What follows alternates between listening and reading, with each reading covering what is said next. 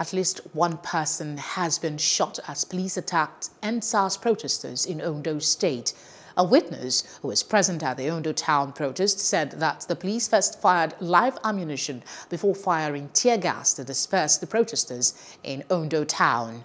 Violence against protesters by security forces have continued across Nigeria despite local and international calls for caution.